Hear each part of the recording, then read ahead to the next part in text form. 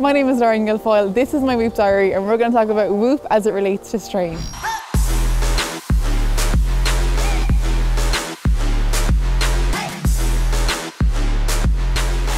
So the Whoop band is a strap that you wear in your wrist that offers personalised performance insights based on their analysis and interpretation of your heart rate data. Now different wearables might use things like steps to offer um, as a data point, whereas the Whoop gives you strain and the maximum amount of strain that anyone can achieve in a day is 21 and that's a personalised uh, number for you. So I'm just about to head on my run. I'm down here in the marina by Uí Chaoimh in Cork I'm going to set up the activity to track my run. Whoop has recently added uh, GAA activities to it, so you can actually specifically add hurling, Gaelic football, camogie, ladies football.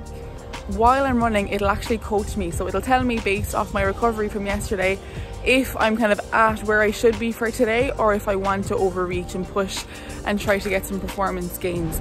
The strain coach is really helpful. So if there's days where I don't really want to challenge or stress my body too much, it'll give me a notification as to when I've actually reached my optimal strain. So your strain takes into consideration all of your activity throughout the day. If you're coaching, if you're surfing, if you're swimming, if you're performing surgery, it all adds up. And also um, your, your sleep from the night before, your recovery from the day before. Um, so do stay tuned for recovery as that will be our next Whoop Diary.